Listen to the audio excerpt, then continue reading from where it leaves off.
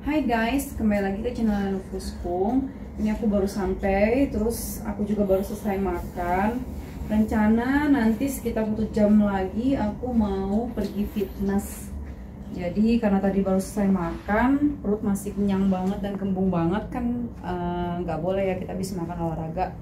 Dan memang kebetulan tuh aku setiap makan memang porsinya tuh banyak banget gitu Sehingga setiap habis makan tuh lama surutnya karena kenyang banget kan tadi habis makan sushi habis makan uh, sashimi sama anak-anak sama suamiku. Jadi ini kita juga lagi santai sambil ngobrol-ngobrol sambil nunggu perut surut baru kita pergi ke tempat gym. Pokoknya kalian harus lihat video ini sampai habis.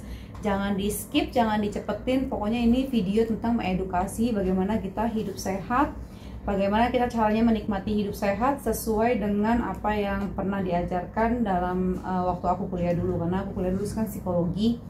Jadi di luar uh, selain kesehatan fisik tentu saja kesehatan mental juga sangat perlu ya. Jadi kita akan bahas sharing-sharing mengenai uh, balance-nya hidup antara kesehatan fisik dengan kesehatan mental oke? Okay? jadi uh, sebelum sebelumnya itu video yang sebelumnya itu kan saya sempat bahas di sana kan mengenai diet uh, binaraga atau banyak perempuan-perempuan yang wanita-wanita yang di sana tuh berusaha untuk diet mendapatkan body goal tapi dengan cara yang menurut saya sih itu cukup ekstrim sekali gitu. Uh, mungkin ada yang beberapa hal di luar sana yang mereka sudah mulai enjoy dengan uh, kehidupan mereka dalam artian mereka ikhlas uh, menjalani pola diet yang seperti itu. Dalam artian kan yang saya pernah bahas tuh kan banyak banget eh, wanita-wanita uh, atau binaraga yang dia itu tuh ya nggak makan gula, nggak makan garam, nggak makan karbo, benar-benar eat clean ya kalau bahasa orang fitness. Dan itu banyak juga yang mereka tuh sudah seperti menerima memang takdir hidup mereka tuh makan seperti ini seumur hidup misalnya. Atau mereka hanya cheat day uh, misalnya sebulan mereka makan eat clean lalu sehari mereka cheat day gitu.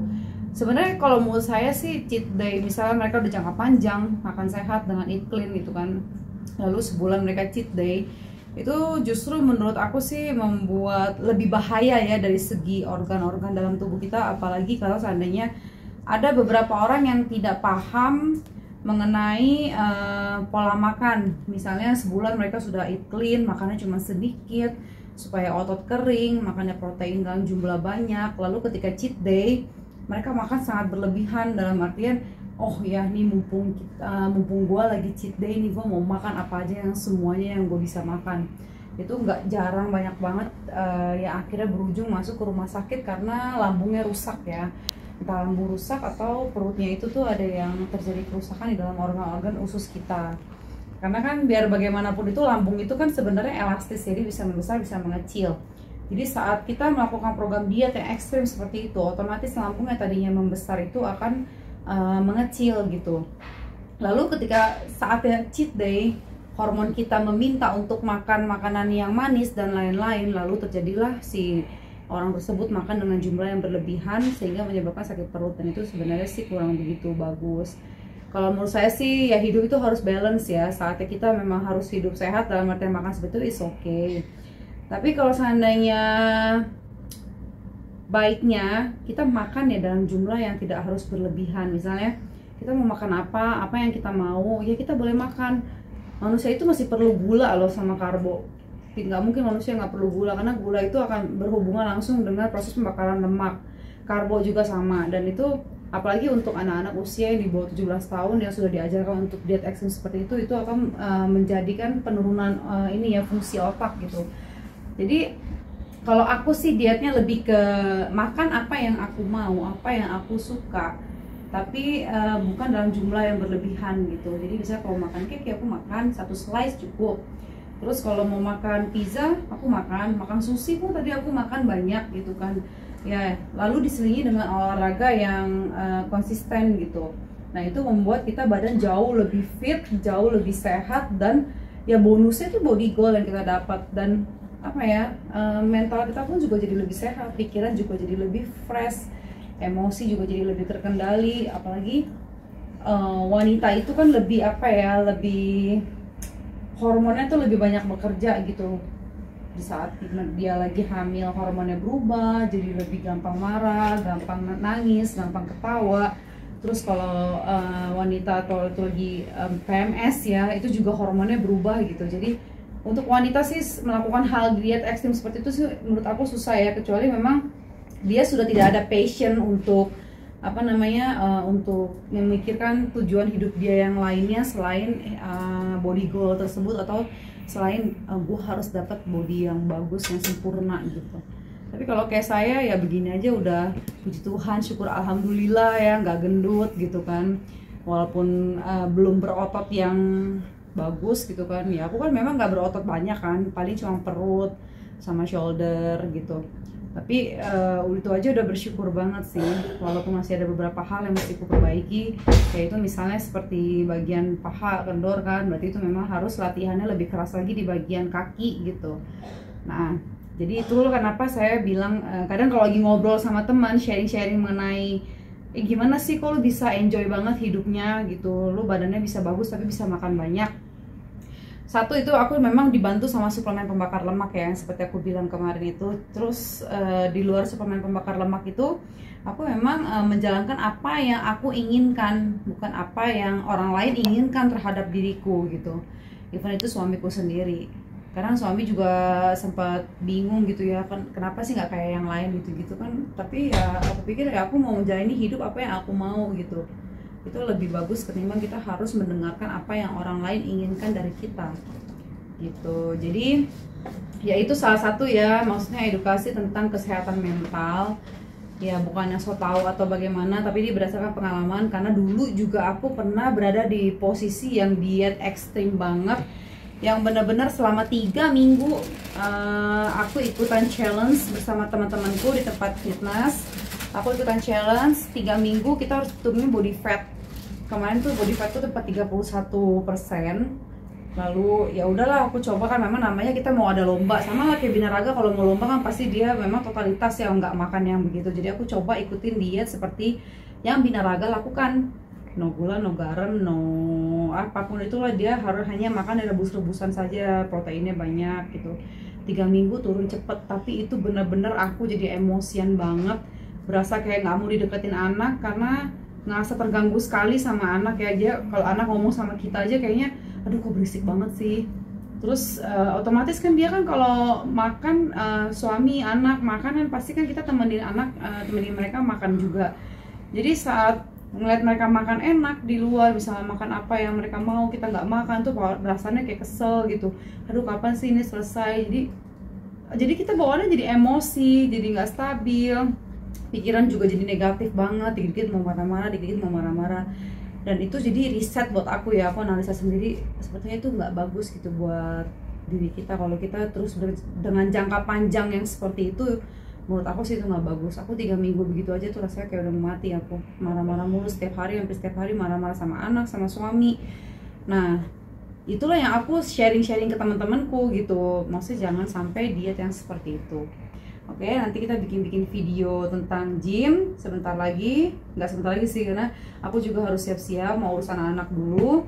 Nanti kita ketemu lagi di tempat gym. Kita langsung bikin video-video sambil ngobrol-ngobrol hal lain yang lebih ber guna dan mengedukasi tentang kesehatan. Pokoknya kalian jangan ke mana-mana karena ini kita masih ada mau olahraga, mau gym dengan suasana gym yang baru. Nonton sampai habis dan lihat semuanya keseruan kita hari ini.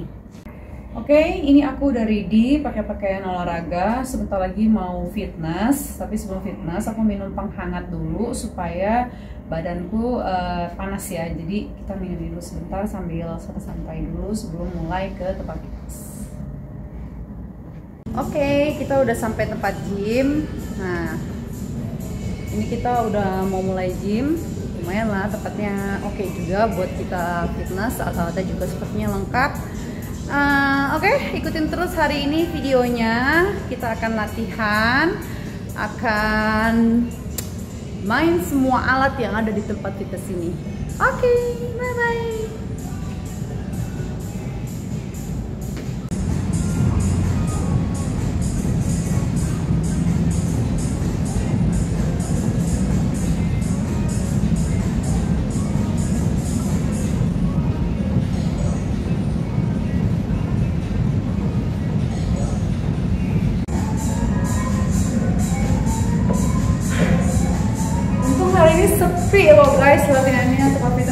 nggak ada orang jadi tidak mengganggu orang dan tidak mengganggu privasi orang ya. Jadi kita bisa videoin semua yang aku mainkan hari ini.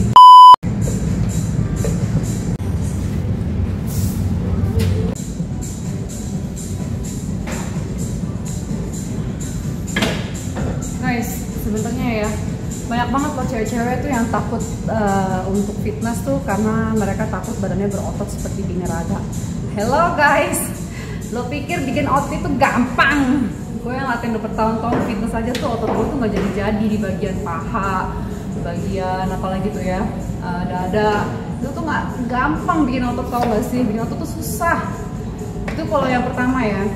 Jangan pernah takut untuk fitness karena pembentukan otot itu sebenarnya nggak gampang. Kita harus jaga makan yang konsisten. Terus kita juga harus latihannya tuh ada cara-caranya yang kedua daripada lo gendut bagus tuh berotot kali daripada gendut gendut mah udah nggak ada ini deh udah nggak ada obatnya lagi.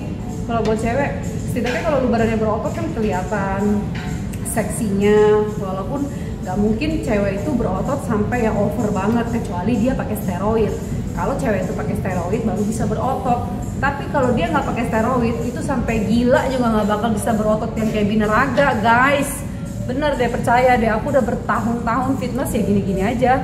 Maintain badan aja sih lebih tepatnya dan lebih ke kesehatan diri sendiri aja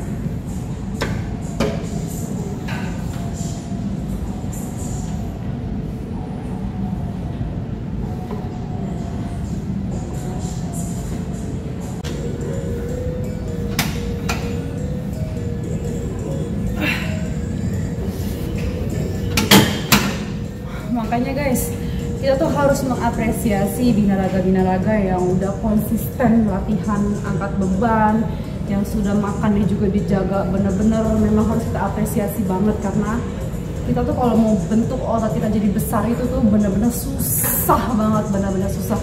Jadi kita memang harus uh, menghargai kerja keras binaraga-binaraga di luar sana gitu. Apalagi kalau yang perempuan ya. Perempuan tuh susah banget bikin otot gak gampang bener-bener susah. Jadi kalian tuh jangan pernah takut untuk memulai olahraga apa pun ya. Entah itu muay thai, boxing atau fitness. Karena semua itu olahraga jenis apa pun itu benar-benar sehat untuk tubuh kalian sendiri. Jadi memang semuanya ada plus minusnya untuk kita. Oke okay, guys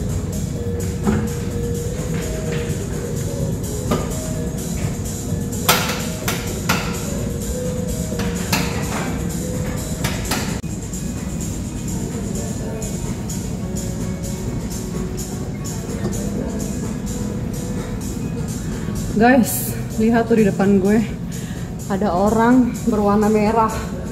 Kayaknya enak nih kalau kita tendangin kepalanya dia. Mau kita tendang? Oke, mau let's go. Habis ini kita tendang kepalanya dia sampai jatuh. Ha.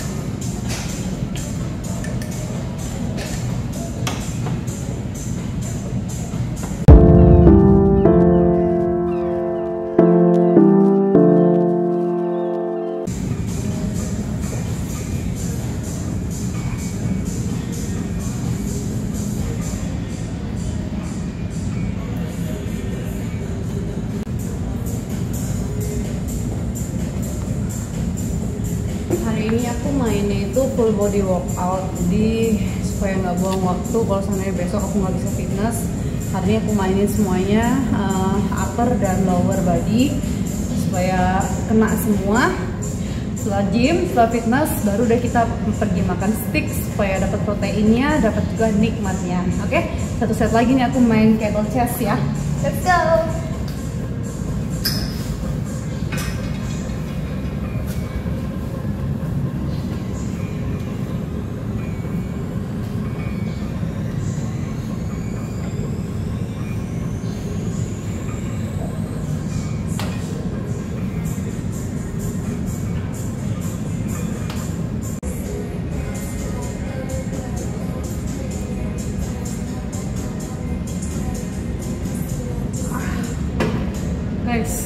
Baju ini tuh ya sebenarnya bukan baju tidur loh guys. Mungkin ada beberapa orang yang nggak paham ya ini dipikirnya baju tidur atau apa.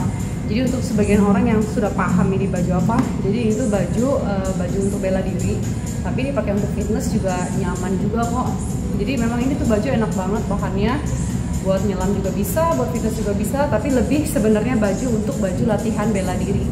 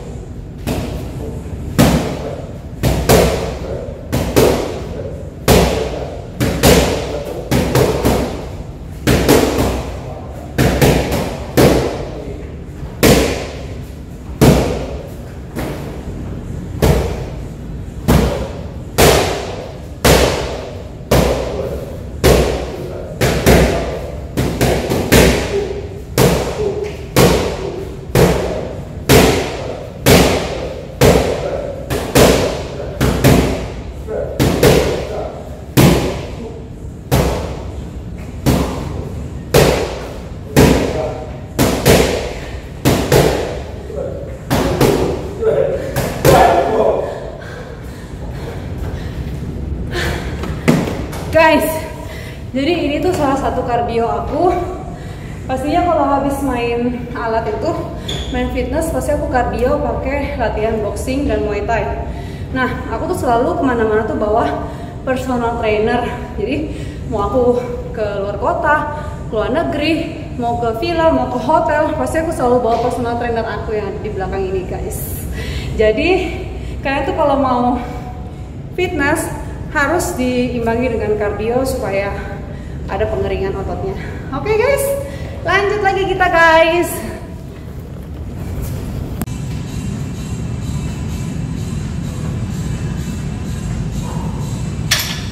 Tuh, tadi personal trainer gue udah lihat kan personal trainer gue seperti apa?